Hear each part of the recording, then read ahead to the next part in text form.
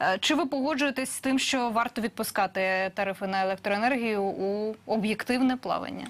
Е, ну, треба створити умову для того, щоб вони не росли. Я тут дещо трішки не погоджуся, і пан Олексій Кучеренко знає прекрасно цю тему. Я думаю, що він просто не встиг її розкрести. е, Що стосується третього енергетичного пакету. Бо саме там заховані всі причини того, Ну, чому про газ? і про електроенергію також. Чому саме у нас формується така висока собівартість електроенергії? Вона одна із найвищих в Європі. Бо ми враховуємо тут дуже багато чинників. Доставка окремо. Якщо це генерація із вугілля, теплова генерація дуже дорога, вугілля дороге. Тобто є багато чинників, які формують цю ціну. Але давайте повернемось до ціни. Я хотів би тут е, глядачам пояснити, що влада це зараз діє як класичні наперсточники. Е, Кучеренко сказав про ціну, яка була скасована пільгова на перші 100 кВт, і вона становила 0,9 гривні, 90 копійок. Тоді, після підвищення, кожне домогосподарство додатково сплачувало більше 78 гривень. Сьогодні, якщо ви споживаєте 250 кВт, то у вас дешевша електроенергія на 24 копійки за кожен кіловат. Тобто на 60 гривень менше откотили назад. Але по факту здорожчання електроенергії склало 18 гривень мінімум.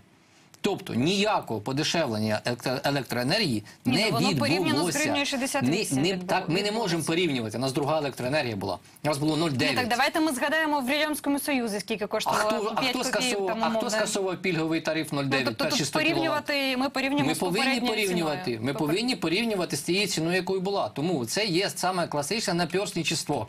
Це обдуриловка народу саме класична. Цього робити в принципі не можна було. А треба було б зараз ініціювати в Верховній Раді рішенням РНБО скликати по енергетичній безпеці країни, скликати позачергове засідання, де розглядати призупинення третього енергетичного пакету. Тому що отам зарити всі е, причини того, що ми маємо такий колапс на електроенергії. РНБО насправді також е, загалом тему тарифів підіймало. Тільки не в тому ключі. Ну так, в них є ще, ще можливості. Вони збираються дуже зараз дуже часто підняти це питання.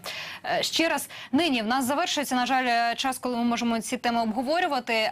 Маю нагадати, що в нас також тривало опитування. Ми з вами починали з теми воєнних баз е, США, які могли би бути на території України. І е, от запитували сьогодні про це наших глядачів. Чи допоможе, на вашу думку, розміщення війська США в Україні звільненню окупованих територій? Понад три чверті наших глядачів вважають, що такі заходи справді можуть спрацювати. Протилежної думки дотримується понад 23%. Нагадаю, що голосування не є репрезентативним, висвітлює думку лише глядачів нашого телеканалу. Але е, вони, наші глядачі, готові, е, вочевидь, запросити в гості американських військових на свою територію.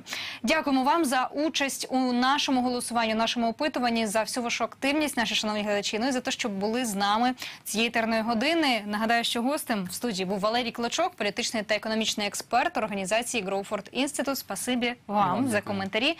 Нині завершимо програму «Опорі» на сьогодні. Денний етер на четвертому завершується, але починається вечір.